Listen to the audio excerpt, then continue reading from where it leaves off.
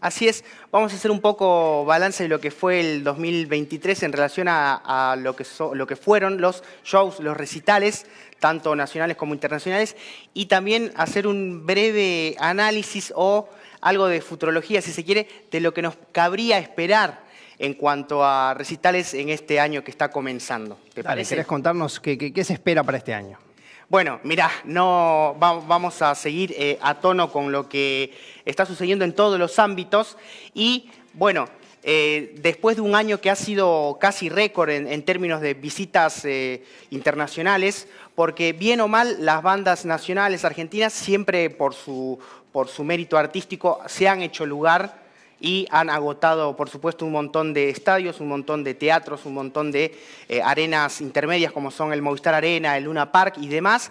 Bueno, no hace falta nombrarlos, todos los artistas de todos los géneros, pero lo que tiene que ver con visitas internacionales, ahí se complica un poquito más porque sabemos que los cachets de los artistas cotizan en dólares y teniendo en cuenta que la situación está muy complicada, no hace falta, bueno, todos los temas que hemos tratado lamentablemente en este noticiero, y la música, la industria musical no está exenta de todo lo que está sucediendo, a priori parecería que las visitas internacionales eh, eh, serían mucho menores en cuanto a números en, relación a lo que fue el 2023. Si te parece solamente para nombrar eh, así superficialmente, en 2023 tuvimos shows en, recitales, eh, digo, recitales en estadios de todos los géneros. ¿Cuáles recordás vos, por ejemplo? Uy, me mataste. Eh... Taylor Swift en River. Cierto, sí, es verdad, real. The Weeknd, estuvo Roger Waters, estuvieron los Red Hot Chili Peppers en partida doble, vemos ahí en imágenes a Alicia Keys, eh, un montón, no solamente de rock, sino también de otros géneros, estuvo Ricardo Arjona, para quienes son más latinos, más románticos, estuvo Mark Anthony hace muy poquito, eh, estuvieron un montón, Luis Miguel, que lo estamos viendo ahí, como no, hablar de él, que llenó varios Movistar Arena, Blair, The Cure, Pet Shop Boys. Al principio de año tuvimos a Rosalía en el Lola Palusa. Tuvimos un sinfín de visitas internacionales y, por supuesto, también eh, tenemos que nombrar los estadios de eh, Duki en River, eh, Divididos que tocó en Vélez en ese histórico show festejando 35 años. Bueno, lo que espera para este 2024, si bien ya hay algunas visitas anunciadas que se habían anunciado ya el año pasado, lo que sí se espera es que no haya tantas visitas. Pero para no ser tan pesimistas, vamos a repasar por lo menos lo que hay en, este, en esta primera etapa del 2024. ¿Qué hay por ahora?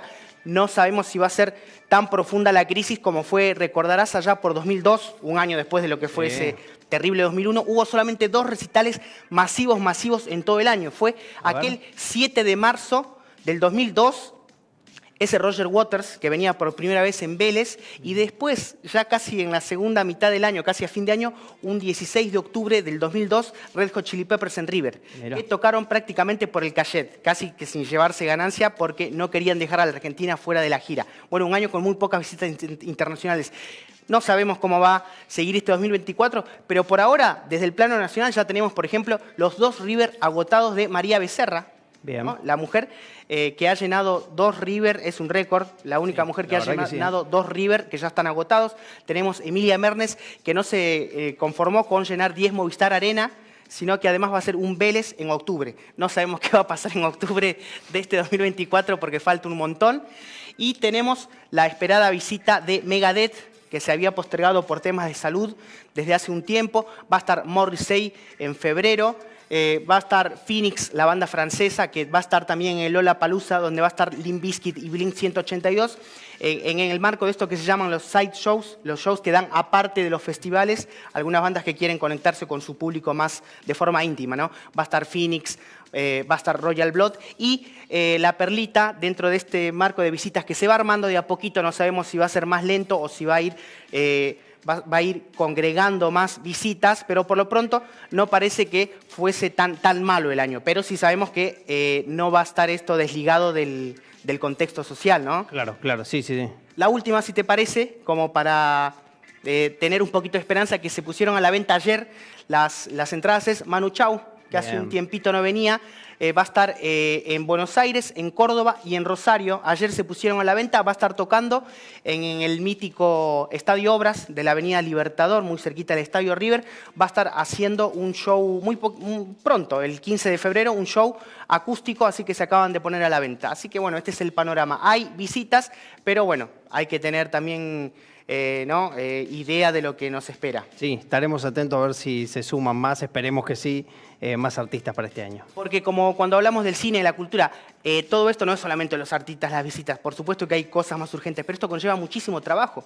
Miles de personas que están en el escenario, en las gráficas, en logística, en el catering. Hay un montón de trabajo, tanto en los shows internacionales como los locales. Hay locales que no pueden sostenerse porque el alquiler eh, es muy caro, es un montón, conlleva un montón de trabajo, ¿no?